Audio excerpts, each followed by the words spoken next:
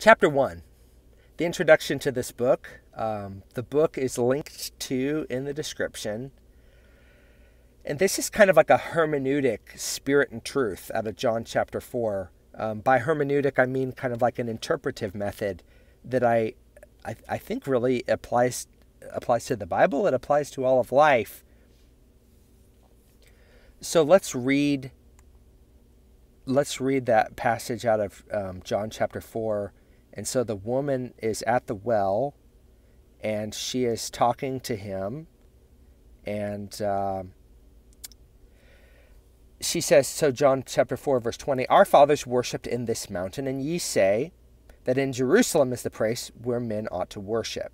Jesus saith unto her, Woman, believe me, the hour cometh when ye shall neither in this mountain nor yet, yet at Jerusalem worship the Father. Ye worship, ye, ye worship ye know not what, we know what we worship, for salvation is of the Jews. But the hour cometh, and now is, when true worshippers shall worship the Father in spirit and in truth. For the Father seeketh such to worship him. Verse 24 God is a spirit, and they that worship him must worship him in spirit and truth. And so I believe that this this verse is really critical for understanding uh, the Bible. I think that this verse is really critical for understanding um, the American church uh, it turns it turns out most of the the action and activity in the church isn't in America anymore. Even though we have a sort of a sensibility, you know, that we are cultured and we are sophisticated, and and this is where the church is, and we're a Christian nation, and we're a mission sending country, and all this kind of stuff. Well. I mean, honestly, you can argue that none of that was ever actually true. But um, the the vast majority of Christians never have been American, and the vast majority of the church is not in the West anymore. It's called the global South, in um, places like Brazil and Africa, uh, cultures that are different from ours, assumptions and ways of looking at life that are different than ours. Um, so, in the American church, and that's what I'm talking about here, because I don't I don't have any credibility to talk about the the kinds of assumptions that people are making elsewhere. In the American church, I argue that we have two kinds of broad camps when it comes to this question of who is the Holy Spirit. And so on the one side, we have the kind of and this is this is where I cut my teeth in uh, so-called charismania, the charis- charismatics, and so Pentecostals and char- the charismatic denominations, people who almost sometimes th- there's an implication that they are they are more spiritual Christians or they are you know the real deal or something like that. Um, sometimes even people call the baptism of the Holy Spirit the second blessing the, the implication is like somehow they have a corner on the market. Um, but the problem is that there's such an emphasis on experience and such a kind of a an a priori underlying assumption that if you have a spiritual experience it must be the holy spirit especially if like it makes you feel good if it makes you laugh if it makes you dance, like it, like if it feels good, then surely it must be the Holy Spirit. And I've even heard one guy say one time, well, if you're worshiping in the Holy Spirit, then you must be worshiping in spirit and truth because he's the spirit of truth is is the way that his reasoning went. Um, the problem with this is there's no guardrails there's no protections. There's I I can any I can get online and I can say I had experience X and therefore it must be true and you can't say anything about it because there's no there's no framework for understanding anything. It's just it's almost like the new age. Anything can happen and every experience is legitimate.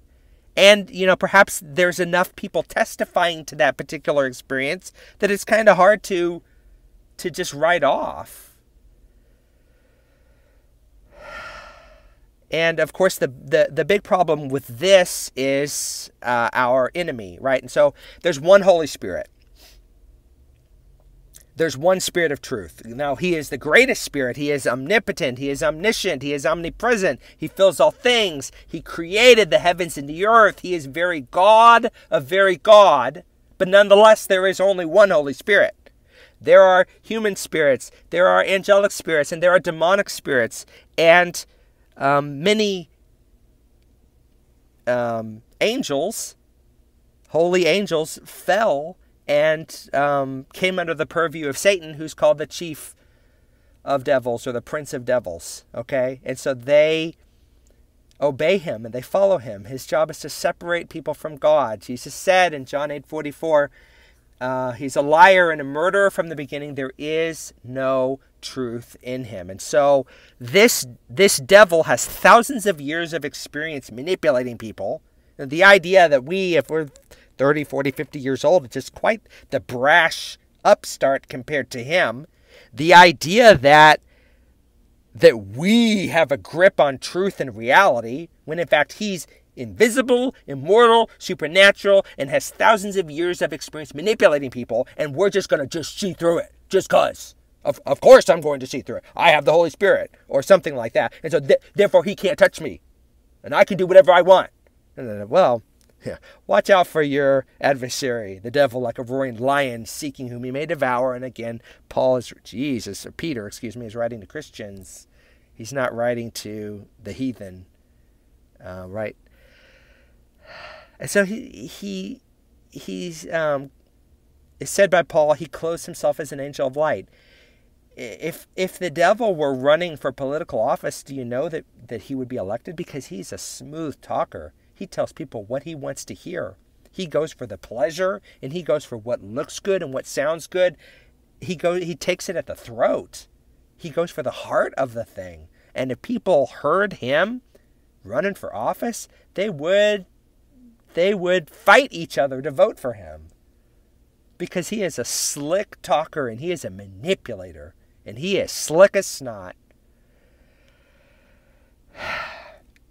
And he's a counterfeit.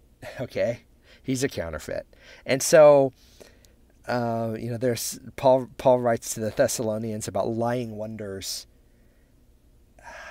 He makes himself look good and sound good, and crowds praise him. And so the the idea that that he's not giving spiritual experiences and he's not trying to deceive the elect if he can is it's quite arrogant. It's quite proud, and it's quite foolish. It's quite foolish.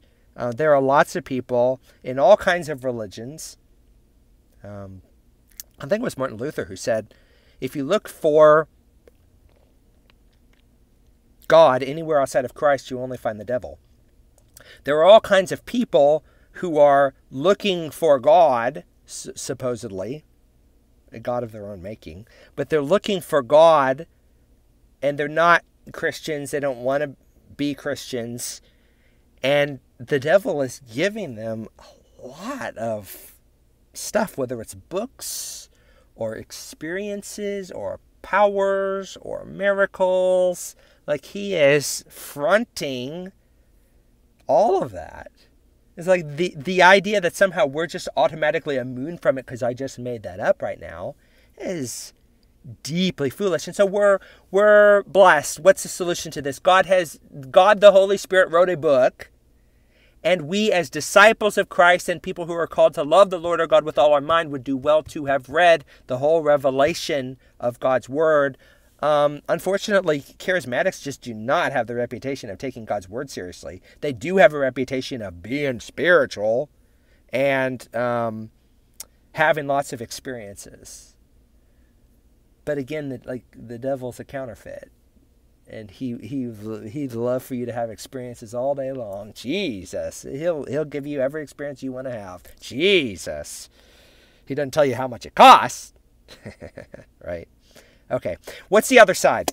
The other side, I'm going to call the Reform Presbyterians, but there must be many others that kind of are along this side. And the, the, the claim is oh, we know who the Holy Spirit is through the biblical revelation. Those charismatics are crazy. right? They'll say something like that. We know who God is based upon the biblical revelation, except then the, the very funny thing is, after the claim of stunning bib- biblicality, or whatever, I don't even know if that's a word, um, stunning adherence to the Bible, then they don't they don't do what's written in the Bible, right?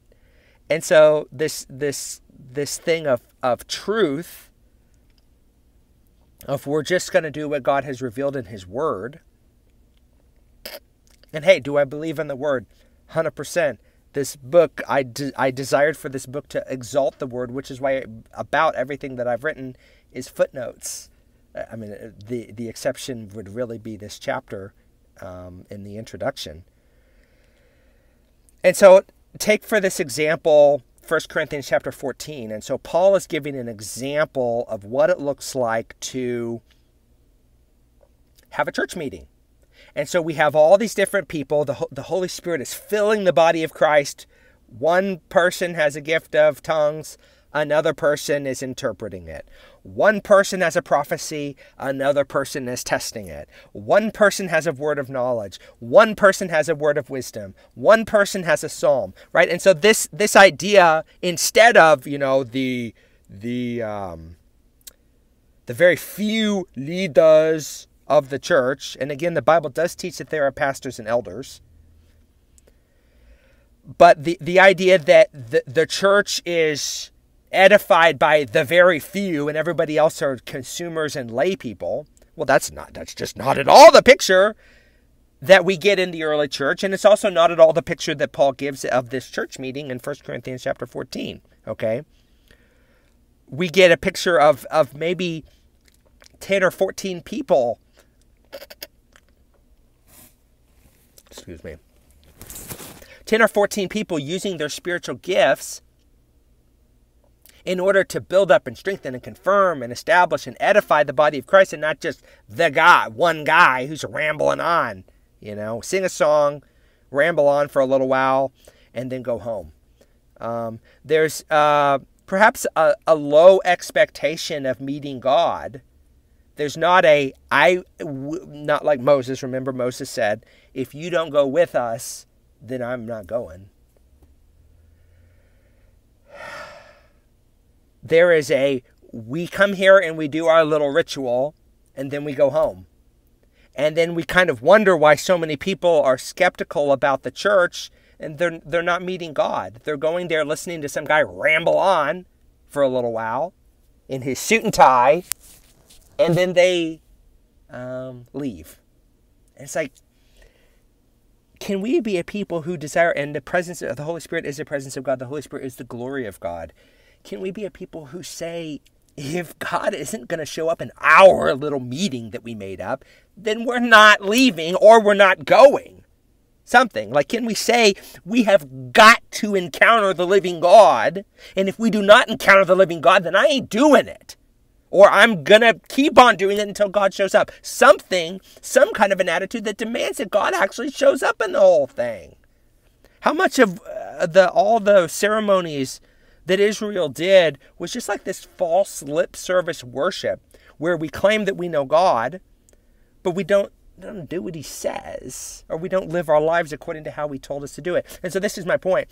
This other side, claiming to know who the Holy Spirit is, claiming to be stunningly biblical, but yet they don't do what's said in the Bible, as 1 Corinthians chapter 14 is the one example. And so then it's like, Okay, you say you're biblical. Anybody, the devil can say that. Anybody can say that. You say you're biblical, but then you don't do it. Like, the Father is looking for those to worship Him in spirit and in truth, not just both. I think that there's a fear, maybe, on the the kind of reform side. You know, okay, we don't have the Bible like right in front of us. You know, we have we store it in our heart. We don't have it right in front of us, and so whenever we get in the real world where the rubber hits the road, we start beating the pavement and we have to make a decision. Do I go right or do I go left? And we might make a mistake. And of course this is this is what this is what grace is for. We try and pray for somebody that they get healed and then they don't get healed. This is what grace is for. Grace is not for flagrant ongoing sin. The reason why God gives us grace is the freedom to get to know Him, the freedom to learn what it means to be filled with and walk in and live in and follow the leadership of the Holy Spirit in our lives. The way that we follow Jesus is by following the leadership of the Holy Spirit. He is the mechanism that we have been given, one of the mechanisms, Spirit and truth, that we have been given to follow God. And so the idea it's so it's it's interesting like they, they say something like they'll quote Paul writing to Timothy and say the word of God is perfect to thoroughly furnish the man of God, something like that. I say, oh, wait, maybe they don't want to say this because they know that the Holy Spirit is God, but they almost want to say, well, no, we just need the Bible, we don't need the Spirit. It's kind of like what the the attitude is. There's a fear, what might happen if we get it wrong, but then there's also this kind of attitude, no, we just need the Bible. Well, the funny thing is, when you go to the Bible, the Bible says, be filled with Jesus. The Bible says, be filled with the Holy Spirit. And so you can say, well, I just need the Bible. Well, the Bible says, be filled with the Holy Spirit. So what about that? They don't, they don't seem to want to do that. They don't want to do the things that are overtly spiritual in the Bible prophesying, praying in tongues, interpreting those tongues. They don't want to do that because what if, what if, what if, what if, what if, right? I think that there's a kind of a fear there. And so we need to enter into the interpretation of these verses by recognizing number one, we've got to be grounded in Scripture. We need to have a guardrail. We need to have a framework for understanding what God does and what God doesn't do, who God is and who God isn't. As a person, you know, you're a person. And so somebody a friend of yours could say oh you're like this and you're like that and you did this and you did that and and you know maybe you would not find their characterization of you flattering, or maybe you would. But if somebody came up to you and said, Oh, you're from Mars! I knew it! You're the guy from Mars! And you just be like, like, like, no. Like I've I've never been from Mars.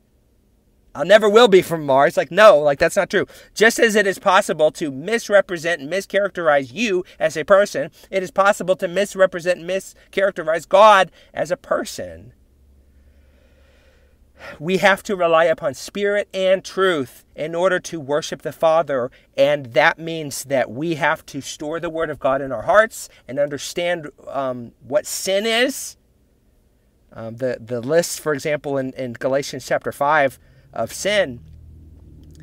And, and that will give us a picture of where the devil is counterfeiting and lying and seducing and tempting us. But then we also need to understand well, guess what? God, God gives words and he works through his people and he inspires his people and he does supernatural things for and through his people. And maybe that can be kind of scary. But God is calling us to worship in spirit and in truth, not just in spirit and not just in truth, but spirit and truth. And that's how we need to approach this, the church in the West. And that's also how we need to approach this understanding of this question of who is the Holy Spirit.